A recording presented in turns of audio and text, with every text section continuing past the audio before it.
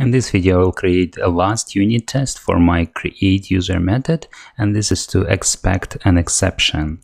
If I look at the user service implementation, the create user method throws a runtime exception if find by email function returns an object, meaning if our web service endpoint received an HTTP request that contains an email address which is already found in our database. The find by email method call on the user repository will allow that record and if that record is not null, a runtime exception will be thrown with the message record already exists. First of all, the runtime exception was just an example. If I go to my exceptions package, we have a user service exception for that. So I will use user service exception like this.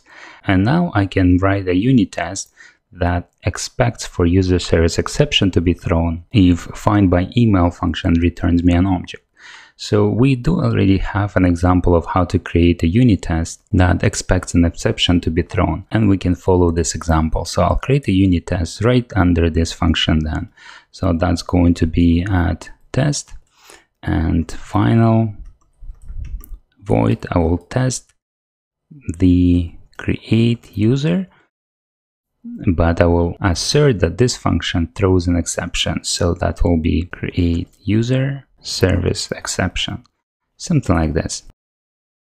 Now I can follow this example and configure behavior for user repository for the find by email function call, but instead of returning now, I will need to return an actual object. And that object needs to be user entity.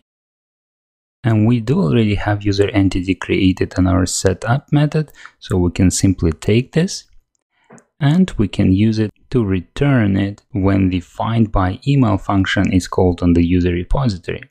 And we know that if find by email returns an object which is not null, then an exception will be thrown.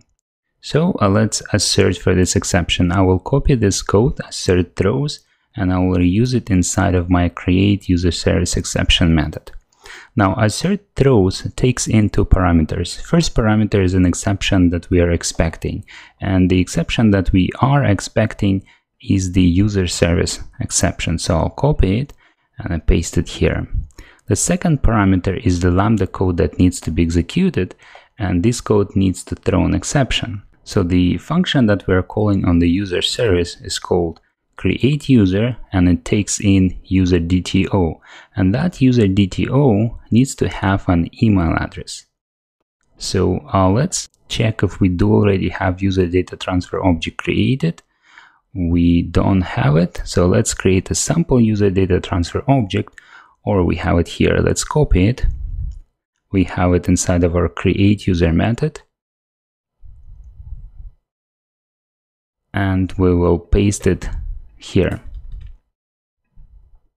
like this. So we have user data transfer object set with sample values and I will use this user data transfer object and I'll send it in as a parameter to create user method. Now let's import user service exception like this and we are almost ready to try it. So now if I run this, an exception should be thrown. And because our method is asserting that this create user function called on user service will throw an exception, we should be good and the test should pass. So let's run our unit tests, run as unit test.